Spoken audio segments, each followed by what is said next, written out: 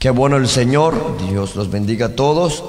Vamos a ver el Evangelio según San Juan hoy.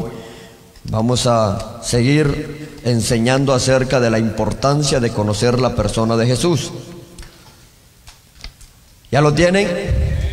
Lo vamos a leer con la bendición del Padre, del Hijo y del Espíritu Santo. Dice, en el principio era el verbo y el verbo era con Dios y el verbo era Dios. El primer texto. A tomen su lugar, por favor, en el nombre del Señor. Hoy vamos a hablar acerca de la divinidad de Jesús en el Evangelio de Juan. Juan nos presenta a Jesús como Dios, como el Cordero que quita el pecado del mundo y como Dios. Juan es uno de los evangelios que hace mención de la divinidad de Jesús. Juan es uno de los evangelios que algunos le llaman la cristología. Cristología es la doctrina de Dios el Hijo.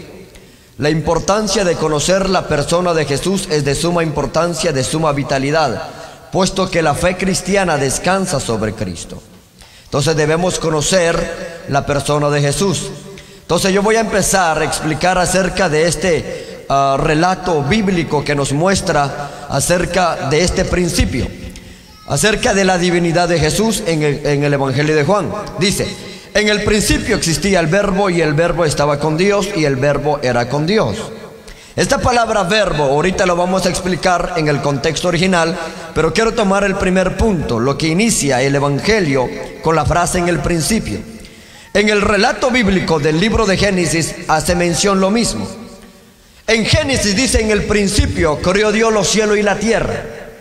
En el Evangelio de Juan hace mención en el principio era el verbo. O sea, este principio nos está enseñando algo que lo que está enseñando es que Cristo siempre ha existido por toda la eternidad. Lo que quiere implicar, lo que Juan trata de explicar, es que Jesús es el agente de la creación. O sea, cuando Dios crió los cielos y la tierra, Dios el Hijo estaba presente. O sea, Jesús estaba presente cuando fueron creados todo lo existente. Entonces, cuando hace mención, nos está dando a entender que Jesús siempre ha existido. En el momento de la creación, Él estaba presente junto al Padre, participando de la creación misma, tal como nos está explicando Juan.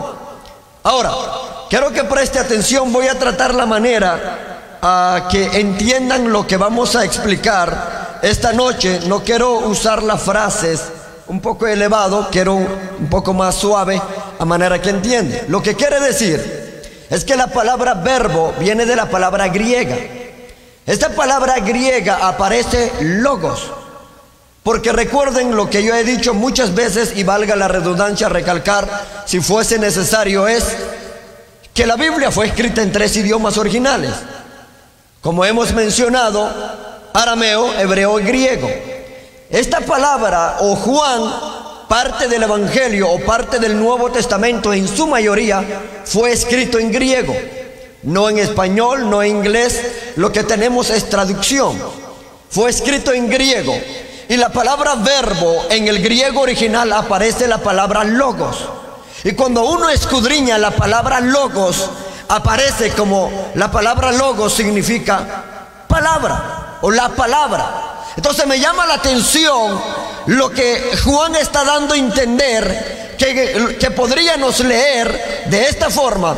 De esta forma, cuando leemos el original, lo que implica logos podría leerse de esta forma.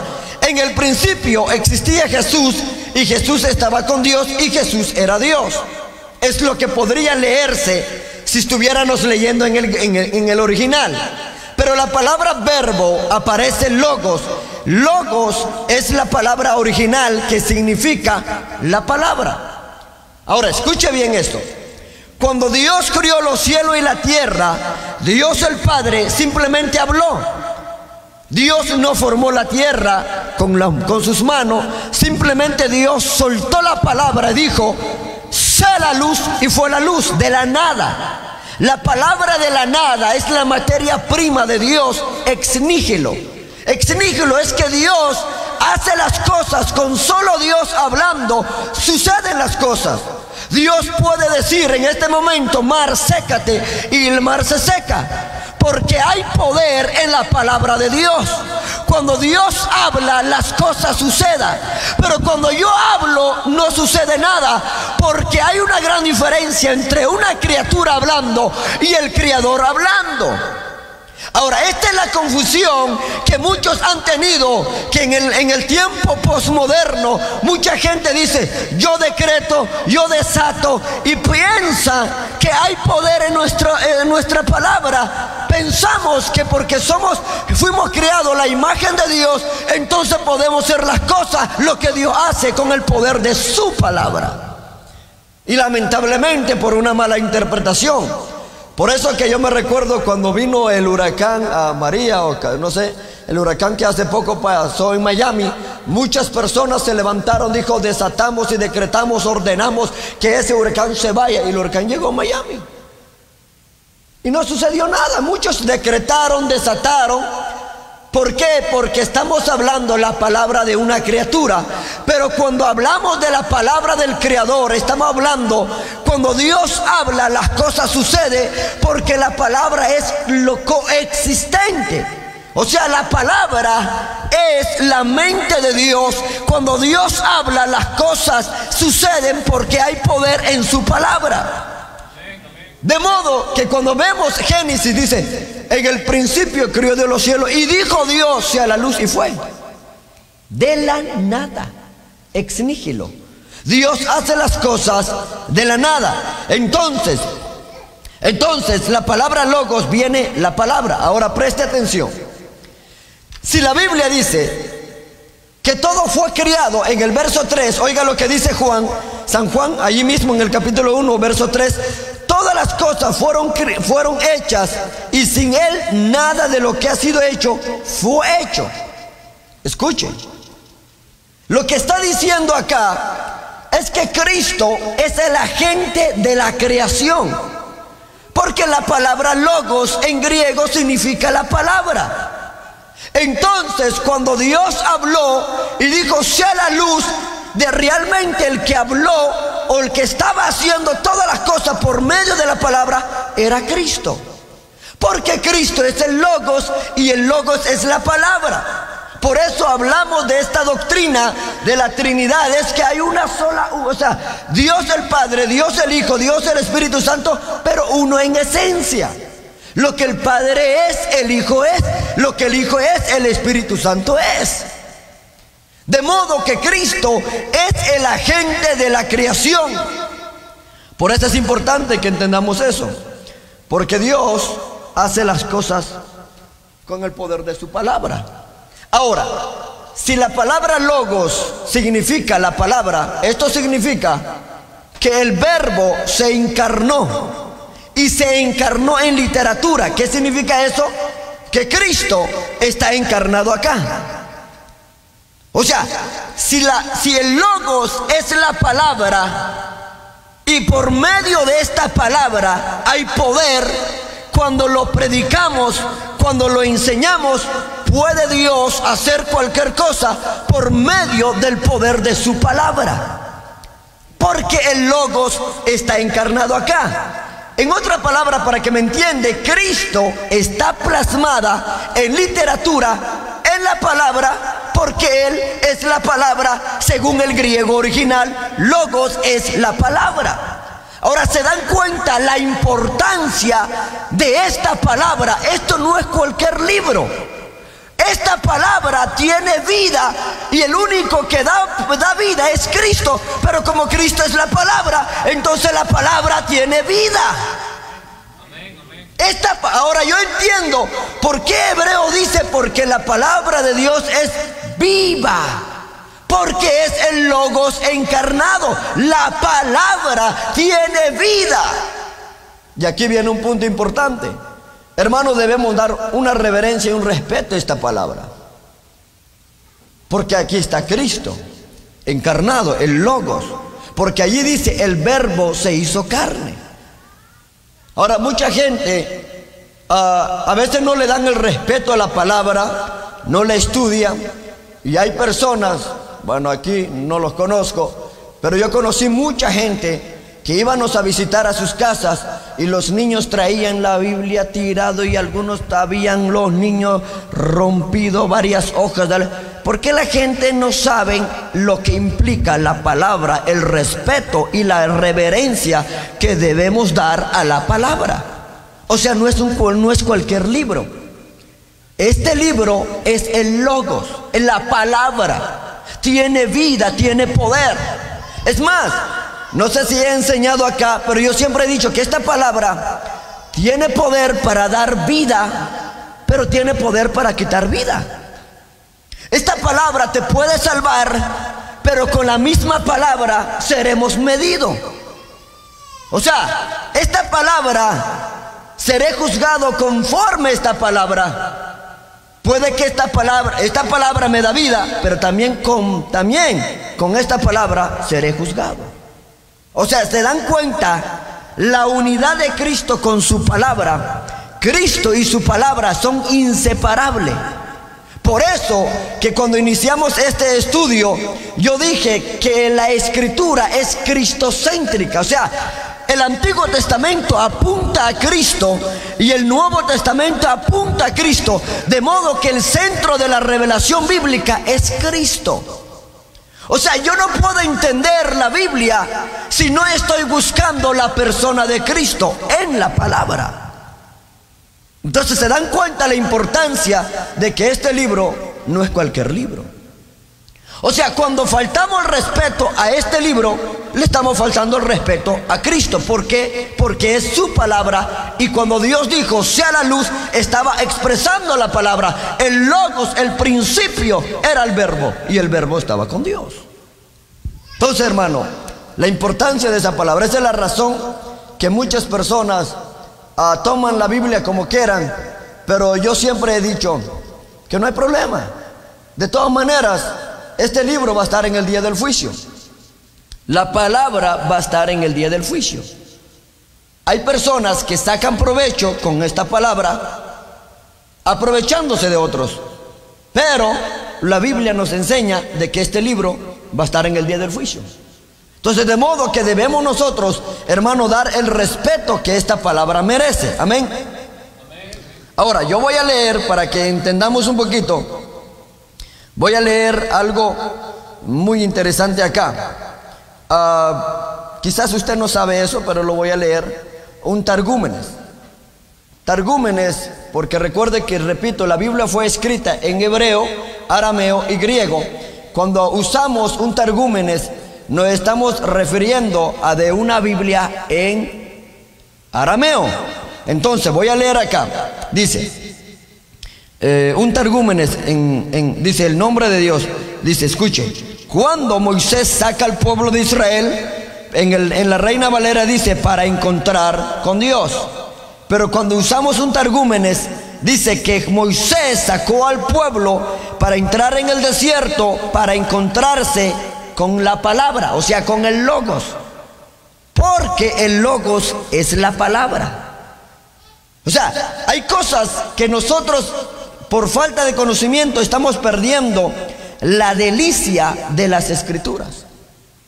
Por eso a veces ah, cuando uno está hablando con personas que han estudiado, han ah, estudiado teología y todo eso, entonces uno comienza a hablar, a hablar y uno se entiende y uno disfruta del conocimiento que otros tienen porque uno acapta y aprende de otros. Pero cuando alguien quizás ni siquiera ha ido a un instituto, entonces a veces cuesta un poco que acapte y cuesta un poco explicar porque no podemos usar palabras muy elevadas que a lo mejor ni han escuchado. Entonces es una de las cosas que nosotros le pedimos al Señor, Señor, abre la mente de cada hermano abra su entendimiento, dale hambre que escudriña las escrituras. ¿Por qué? Porque es importante que crezcamos en el conocimiento de la palabra del Señor, para que podamos conocer más al Señor. Porque a veces cargamos la Biblia, pero no conocemos lo que la Biblia enseña. Es por ejemplo, le voy a poner una ilustración. Cuando muy salieron ah, estos teléfonos, al touchscreen, ah, antes no había, recuerdo que se falló el carro de un amigo y todos tenían un buen teléfono, pero no sabían que esos teléfonos tenían la luz. Y nosotros batallando ahí y todo, y vino un niño y dijo, ¿y por qué no usan la lámpara del teléfono? Y tiene lámpara, eso sí. Vino el niño y empezó a alumbrar. Y nosotros no sabíamos. Así es, muchas veces desconocemos la función de la Biblia. Lo cargamos, pero a veces no sabemos cómo funciona. O sea, teníamos un buen teléfono, pero no sabíamos que ese bendito teléfono tenía una luz. O sea, entonces así pasa con muchos. Cargan la Biblia, pero muchas veces no sabemos cómo funciona.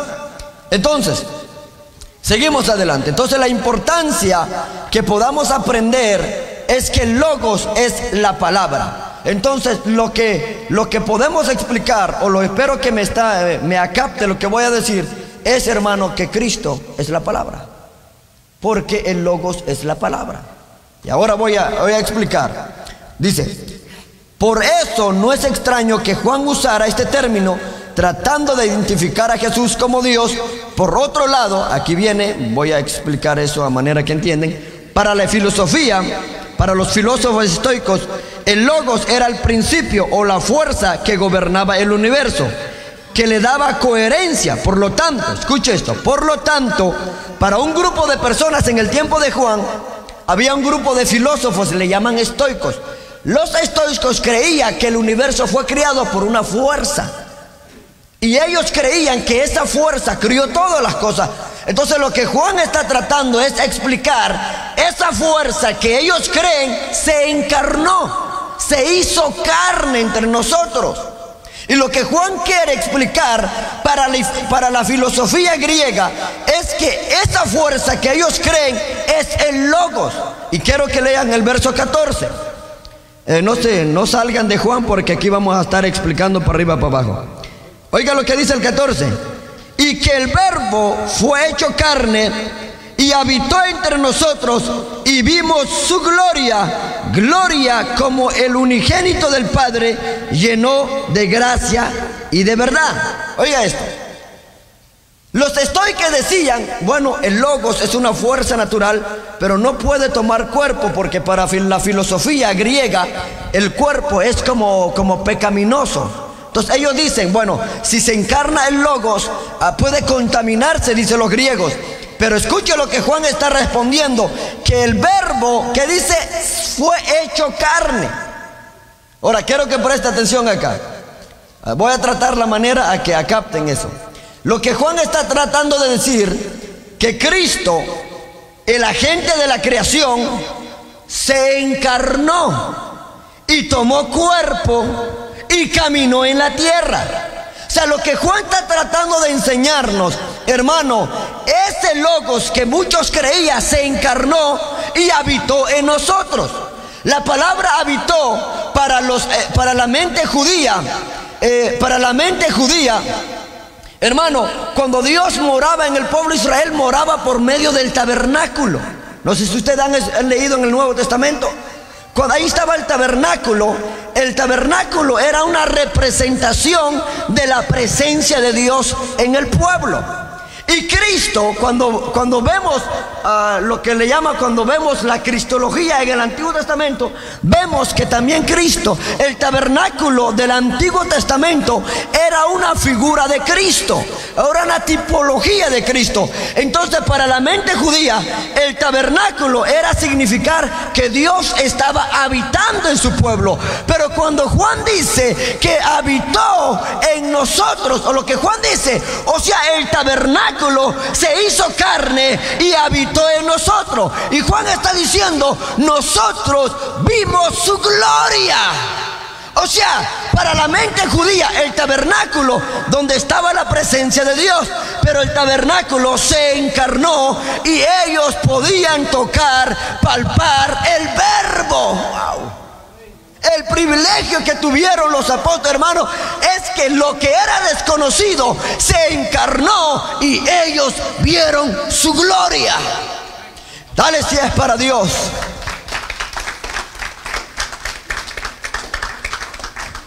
Mira, yo estoy tratando de la manera de explicar eso, no quiero usar mucho porque yo sé que hay personas nuevas, hay personas que a lo mejor no han leído la Biblia porque quizás ni, ni fueron a la escuela. Yo sé que aquí hay mucha necesidad.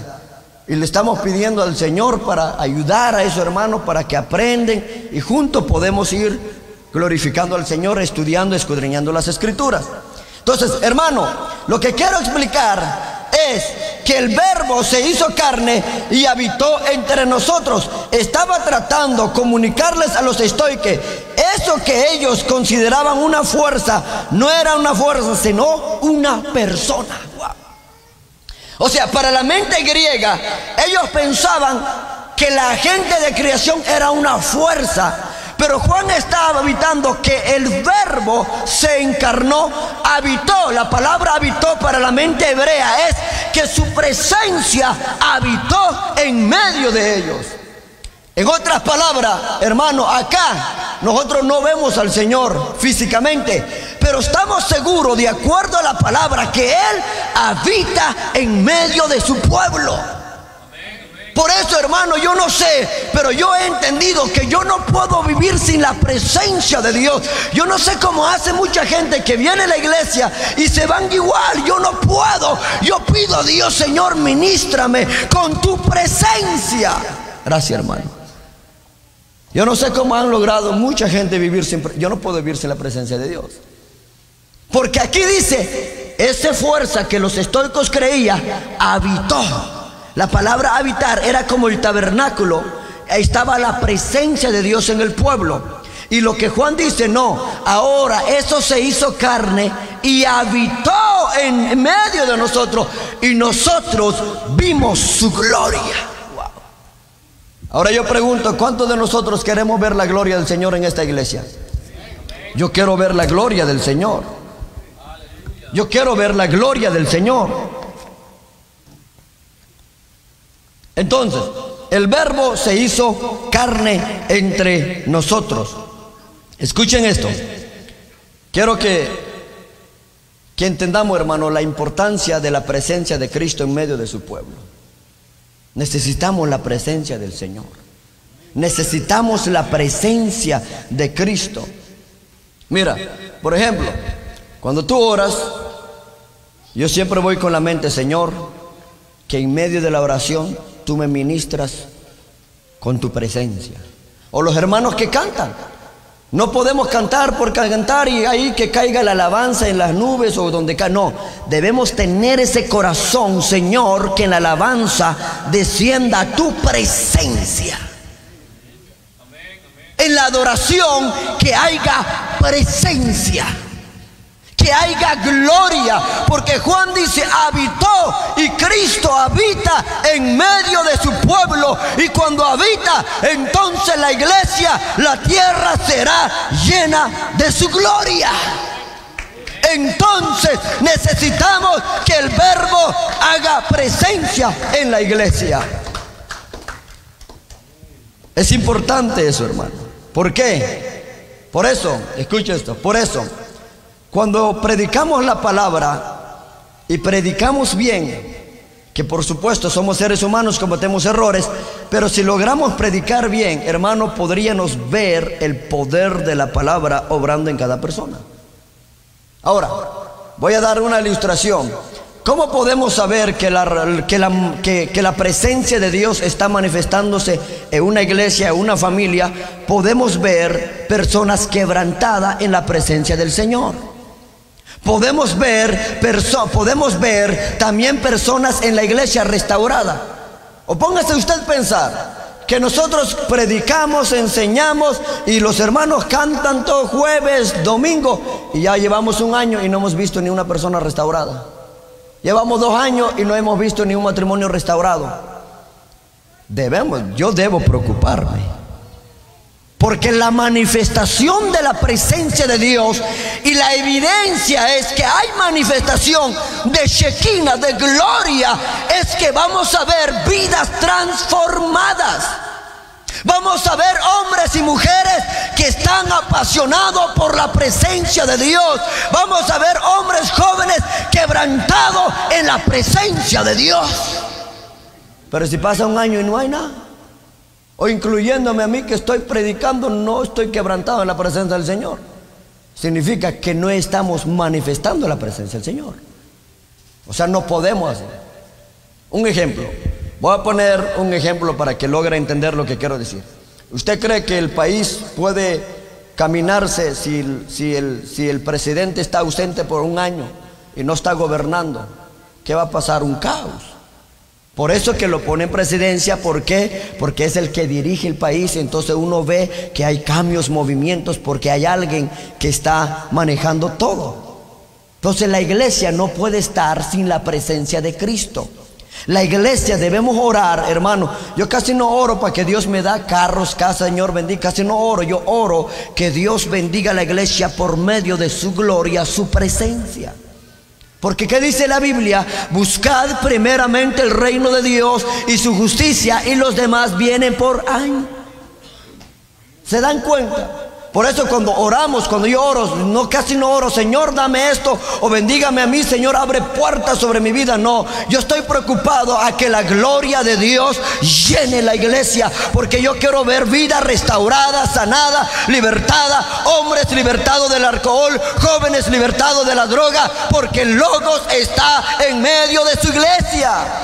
El verbo se encarnó y vamos a ver su gloria. Su gloria. Necesitamos presencia. Necesitamos presencia. Porque cuando hay, mira hermano, hoy en día la gente busca milagros, pero cuando tú lees el libro de los hechos, ellos no buscaban milagros, los milagros les seguían, porque estaba la presencia con ellos, estaba el Espíritu Santo. ¿Usted cree que Pedro predicaba de milagros? No. Pedro predicaba arrepentimiento y llamaba a la gente, venga a Cristo. Y cuando la gente es quebrantado en la presencia del Señor, entonces los milagros automáticamente ocurren. Pero hoy en día esto se ha vuelto de moda, de, moda, declaran milagro y no se sana la gente, porque estamos pensando como nosotros como hombre y no estamos pensando bíblicamente cómo ocurren los milagros.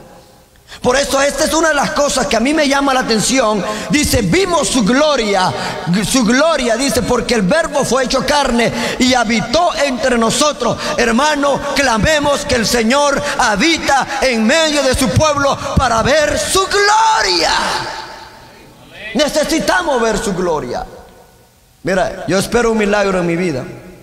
No estoy orando que ocurra un milagro, estoy orando que la presencia y la gloria del Señor llene la iglesia y por medio de eso, la evidencia que hay gloria en la iglesia, hay presencia, es que vamos a recibir el milagro que esperamos sin tener que estar como muchos. El Señor hace un milagro y todos los días, todos los días, en vez de orar por la gloria del Señor en la iglesia. Porque no solamente yo me voy a beneficiar, sino que imagínense que hay una vida que viene triste, agobiado, con carga, está pasando lucha, pero cuando viene y viene el logos, la palabra se predica y luego en la alabanza hay presencia, en la adoración hay gloria, esa vida va a salir transformado restaurado.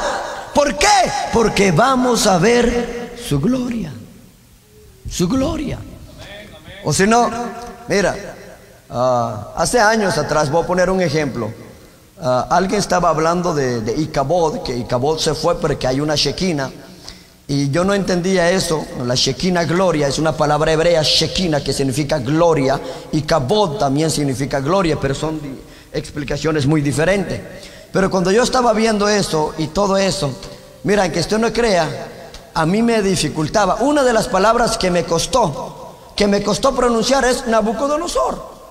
Yo repetía Nabucodonosor, pasaba, me costó expresar ese bendito nombre. Entonces yo le dije, Señor, ayuda a mi gramática, quiero pronunciar. Hay muchos nombres raros, difíciles de expresar en el Antiguo Testamento. Entonces yo, Señor, Señor, y de repente le dije, Señor, manifiesta tu gloria sobre mis labios, tu presencia, necesito de ti. Tú hiciste hablar a Moisés en frente de Faraón, haz que yo aprenda a hablar. Y de repente una campaña, no me recuerdo, hubo una presencia, pero impresionante. La gente lloraba, no caían atrás, no, la gente lloraba. Hubo algo, algo inexplicable. En ese momento, hermano, pum, se soltó mis labios y empecé, Nabucodonosor, de una. Entonces entendí cuando Dios viene y visita su iglesia, ocurre cosas sobrenaturales. Cuando Cristo viene a la iglesia y visita su iglesia, cosas grandes ocurren cosas poderosas ocurren, entonces vamos a hacer temblar Jefferson Town si vamos a lograr que la gloria de Dios se manifiesta, se vea en la iglesia palabra de vida. Necesitamos gloria. Mira, hay, a los discípulos estaba compuesto un grupo de personas, pero hay 70 personas que vieron una gloria así, chiquitita, pero hay 12 que vieron otra gloria pero hay tres que vieron una gloria terrible. Esos tres eran Juan, Pedro y Santiago. Algunas traducciones le llaman Jacobo, porque hay tres Jacobo en la Biblia, como hay tres Judas. Hay muchas personas que se repiten, por eso muchos se confunden. Eh, Judas, el traidor, pero hay otro Judas que escribió el libro de la carta de Judas, pero ese no es el tema. Entonces, esos tres, esos tres vieron una gloria terrible. Ahora, cuando ellos subieron al monte de la transfiguración y de repente una nube, esa nube representa una manifestación de gloria. Cuando vieron ellos, cuando Pedro se despertó y vio a Elías y a Moisés, ¿tú te imaginas eso? Vieron a Elías y a Moisés hablar con Jesús. Pedro parece que se le quitó bien el sueño y se acerca. Y le dijo, Señor, porque él entendió una manifestación de gloria. Pedro, Juan, Jacobo vieron gloria que los otros 70 que se quedaron no vieron, que los otros 9 que se quedaron no vieron. Ellos vieron una gloria impresionante, terrible. Yo no sé usted cuántos han visto una gloria acá. Usted ha visto algo que usted dijo, usted no se puede explicar. Este es impresionante. Por ejemplo, yo me acuerdo una vida estaba batallando con el alcohol, no, la droga, y había ido en el, ¿cómo se llama? El centro de rehabilitación y todo eso, ya llevaba meses allí y no podían lograr. Salía y caía otra vez. Todos los que han pasado una experiencia terrible, ¿sabes? están de acuerdo que solo Cristo cambia y liberta. La vida batallaba, batallaba, pero de repente una bendición, empezamos a orar, a clamar a Dios, derrama tu gloria, derrama tu poder, tu presencia, tu unción. Anhelamos Dios que tú hagas cosas grandes y tan de repente, mira, esto no se puede explicar. De la noche a la mañana ese hermano, pum, pum, cambió de un... ¿Cómo ocurrió? Eso solo Dios sabe cómo ocurre. Pero de la noche a la mañana, pum, cambió y el hermano se convirtió en un adorador. Eso no se puede explicar. Esas son cosas que Dios hace cuando su pueblo paga el precio. Hay un precio que pagar.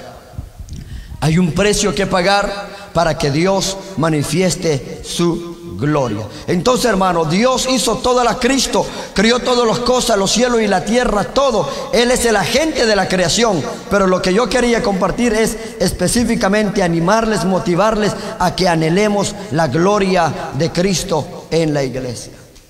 Yo quiero, hermano, que cuando las personas nuevas entran, van a sentir algo poderoso que ellos no van a explicar, que Dios transforme y cambia. Porque ya luego se va a sonar por otros lados. Mira, en la iglesia Fuente, en la iglesia Palabra de Vida, se cambió un alcohol, se cambió este muchacho, se cambió este matrimonio. Mira lo que pasó acá. Se sanó un enfermo, se sanó alguien de cáncer, se sanó alguien de diabetes. Mira lo que Dios está haciendo. Eso es que Dios está llenando su iglesia de gloria. ¿O no quieren ver eso? Yo quiero ver. ¿Por qué? Porque Dios hace eso. Entonces, seguimos. Aquí vemos claramente, yo ya, eh, en vez de seguir eh, dando eso, porque yo sé que algunos no van a captar, seguir a hablar del logos, ah, del kairos, del Adonai y todo eso, mejor voy a tratar la manera de explicarle a manera que ustedes entiendan. Amén. Dale palmas a Cristo. Dale palmas a Cristo. Bueno, para, para para terminar, vamos a leer el verso 3. Dice, todas las cosas por Él fueron hechas y sin Él nada de lo que ha sido hecho fue hecho. O sea, Cristo fueron criadas todas las cosas por la cual, escuche esto, voy a explicar cuatro cosas.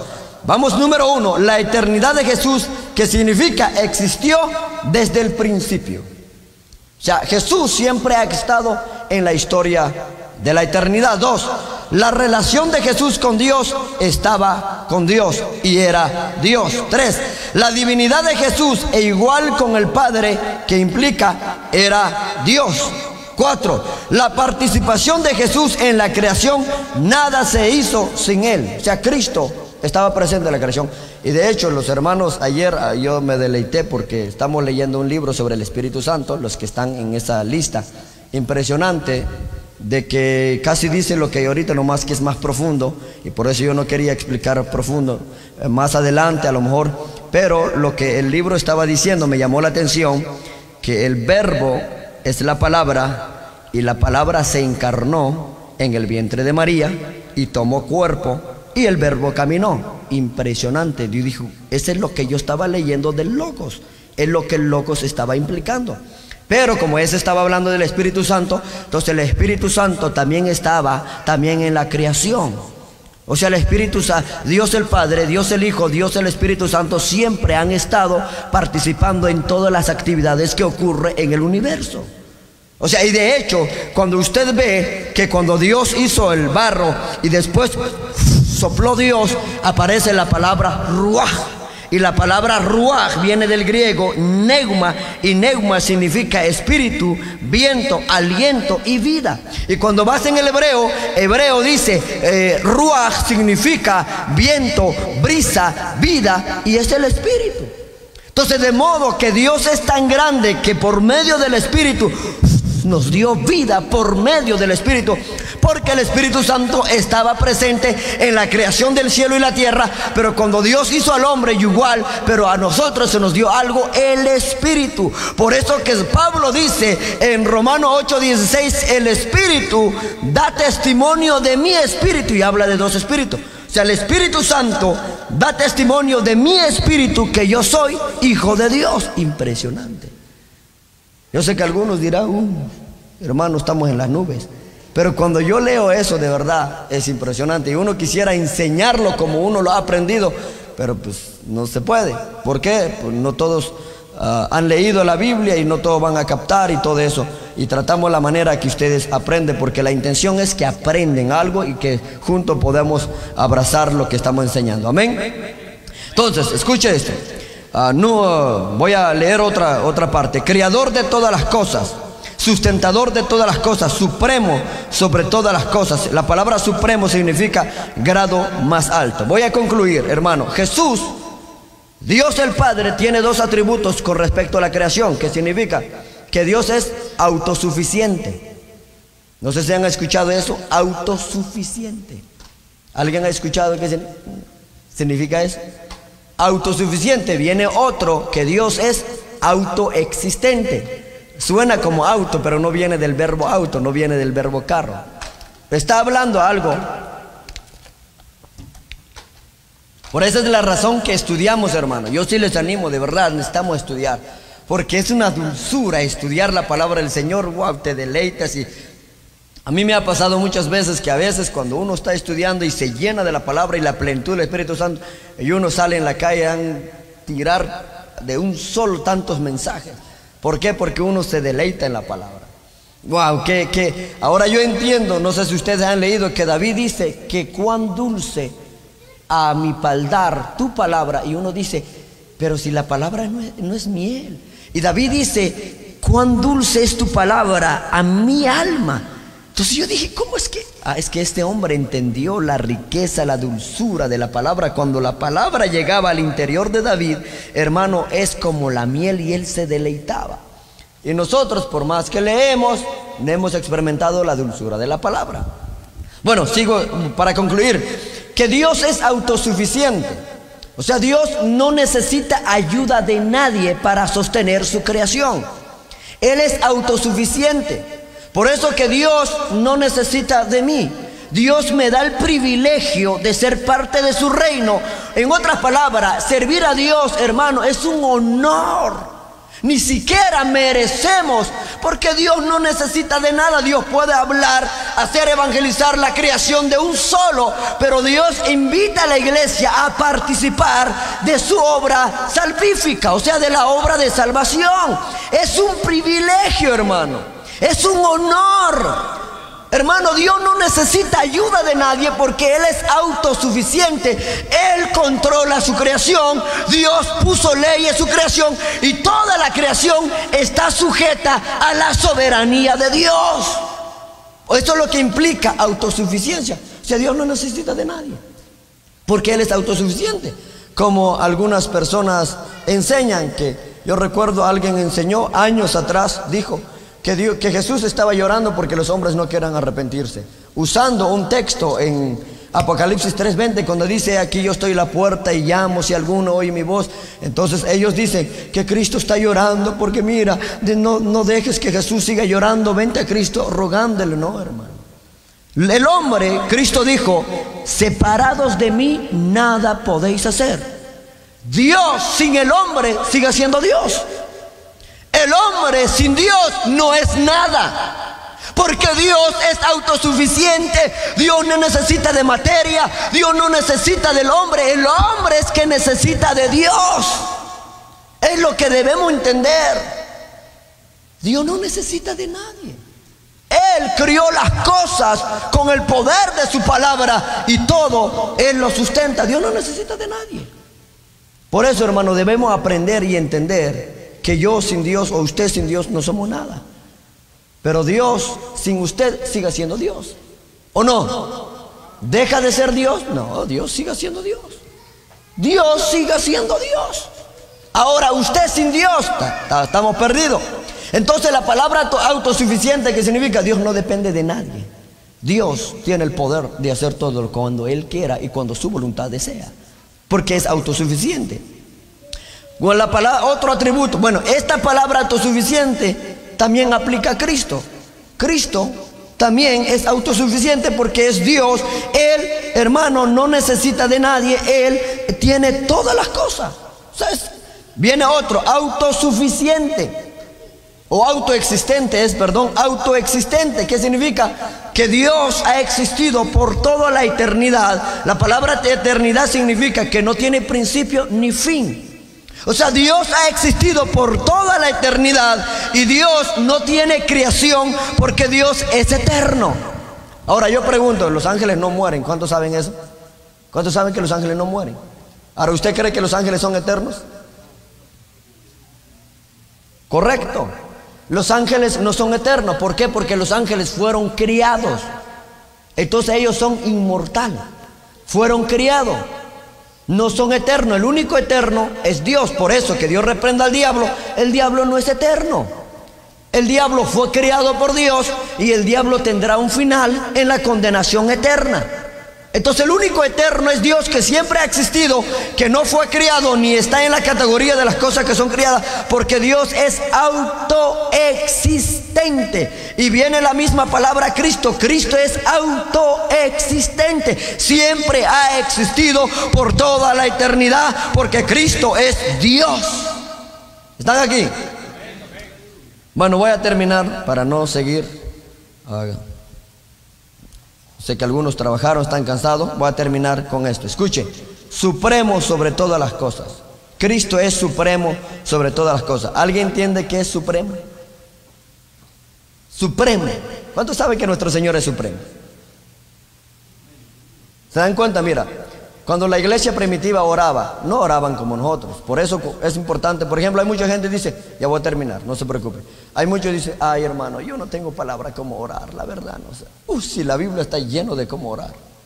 Tú puedes decir supremo, eres grande, infalible, inmutable, eres infalible, inescrutable, eres Dios.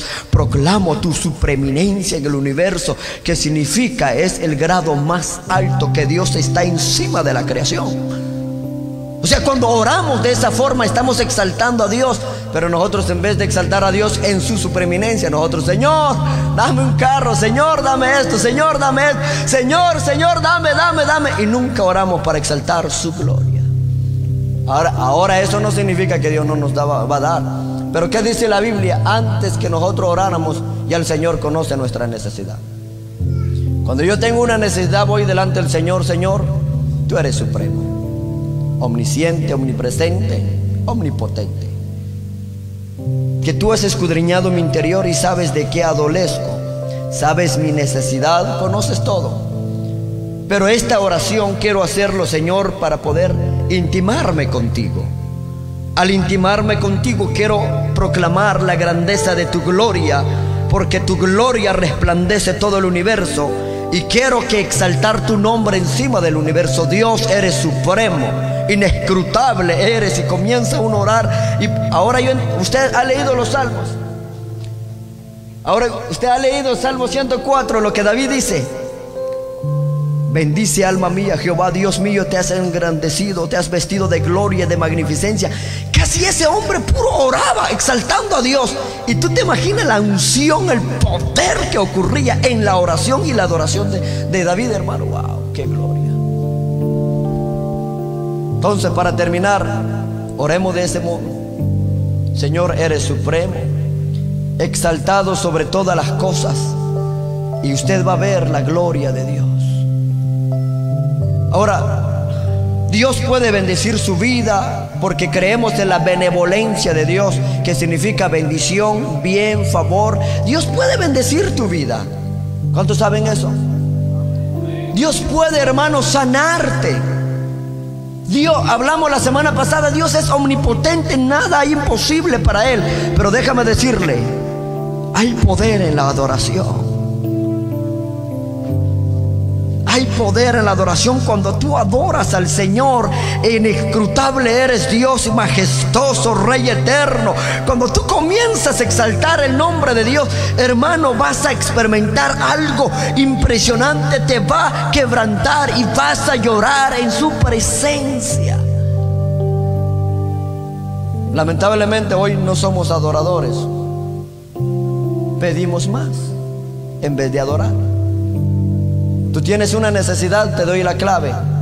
Adora. Tú estás pasando una necesidad, adora. Y vas a ver lo que ocurre en la adoración. Es lo que yo hago, Señor. Ya no. Antes yo era así. Señor, mira lo que me hicieron, ayúdame. Hasta que entendí, Dios me dice, en vez de quejar, adora. Comienzo a adorar. Entonces empecé a adorar, Señor, eres sublime, sobre todo infalible, eres grande. Dios, he visto tu grandeza, eres inescrutable. Y comienzo a adorar, exaltar los atributos de Dios. Eres omnipotente, soberano, eterno, infalible. Todo eres, todopoderoso. Hermano, se siente algo poderoso. Se te olvidó tu problema. Y cuando tú sales de la presencia de Dios, sales renovado, restaurado. Por eso que David dijo, alzaré mi ojos a los montes. ¿De dónde vendrá mi socorro? Mi socorro viene de Jehová que hizo los cielos y la tierra. Comienza a adorar. Comienza, póngase de pie. Comienza a adorar. Comienza a adorar allí donde estás con tus propias palabras. Un momento de adoración. Mm, un momento de adoración. Siento que Dios quiere hacer algo esta noche. Cristo habitó en medio de su discípulo. Cristo está en medio de nosotros. Comienza a adorar, a adorar. Di con tus propias palabras. Gracias Señor. Soberano Dios. Te adoramos, exaltamos tu nombre. Porque tú eres Rey eterno. Porque tú eres autoexistente, autosuficiente, inmutable, soberano. Inescrutable eres Dios. La gloria sublime resplandezca al universo. Tu gracia soberana llena la tierra, llena la iglesia. Te adoramos, te adoramos. Te adoramos. Te adoramos. Gracias Señor, te adoramos. Adórale, adórale. Adórale, adórale, adórale. Te adoramos. Te adoramos. Quebranta nuestro corazón. Te adoramos. Cristo, yo te amo. Cristo, yo te amo. Díselo, díselo. Mi Cristo, yo te amo. No hay nadie como tú, no hay nadie como tú. Dígalo, mi Cristo, yo te amo. Mi Cristo, yo te amo. Te amo, Jesús. Y no sé dónde estuviera si no hubiera conocido al Dios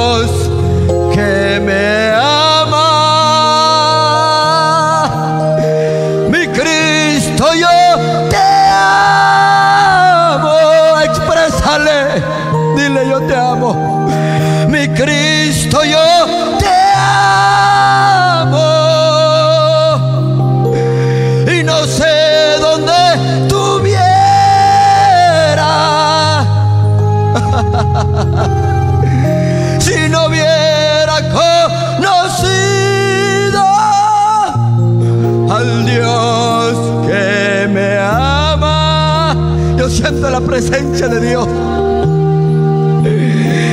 Oh, siento la gloria de Dios. Mi Cristo, yo te amo.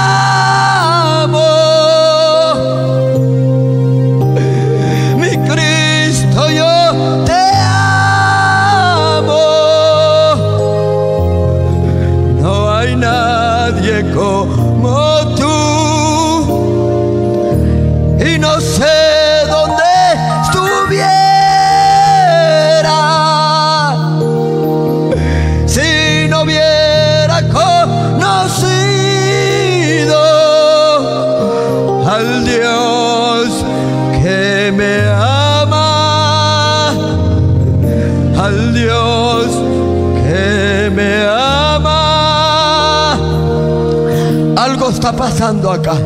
Exalta el nombre de Dios. Exáltale, exáltale, exáltale.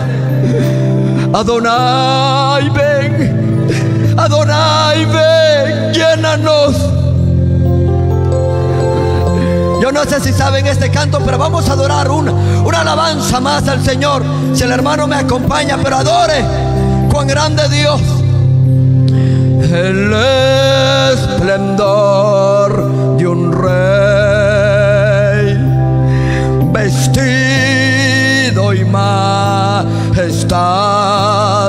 La tierra alegre está, la tierra alegre está, cubierto está de luz. Díselo, venció la oscuridad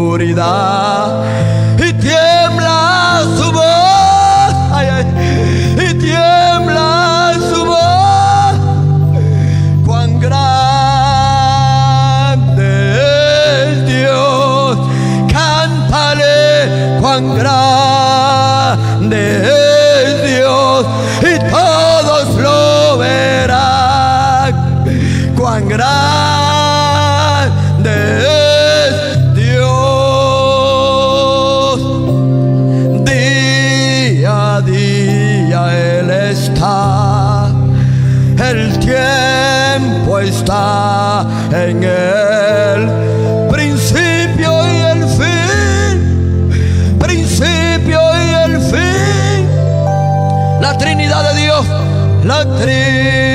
Trinidad de Dios. Díselo.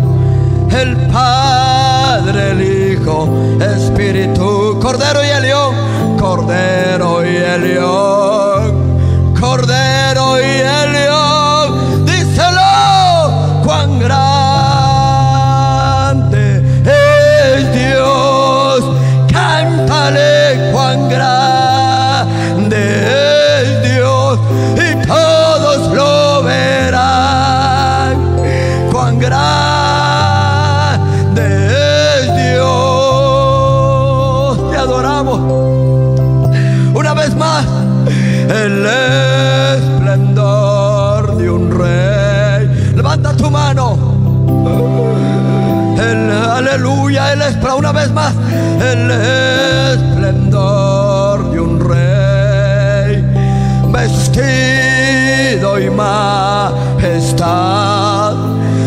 tierra alegre está, la tierra alegre está, cubierto está de luz, venció la oscuridad y tiembla su voz, y tiembla su voz, y tiembla su voz.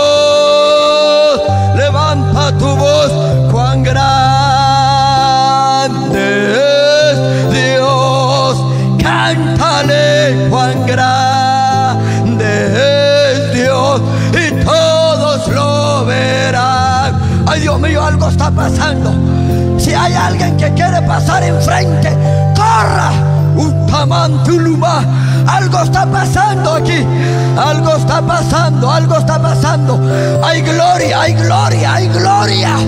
Baruch Hashem Adonai. Cuán grande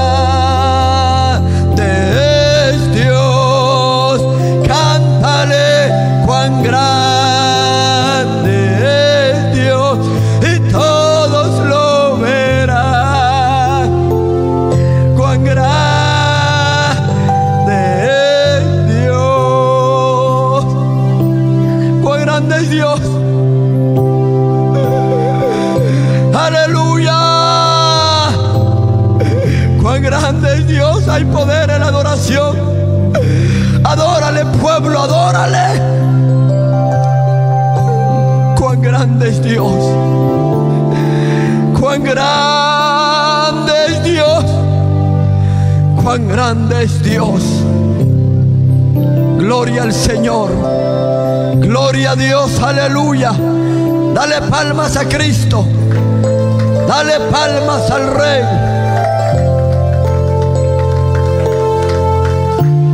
Oh, gloria a Dios. Qué bonito. Qué bonito adorar al Señor. Cuán grande es Dios. Amén. Cuán grande es Dios. Tomen su lugar, por favor. Vamos a orar por algunas necesidades.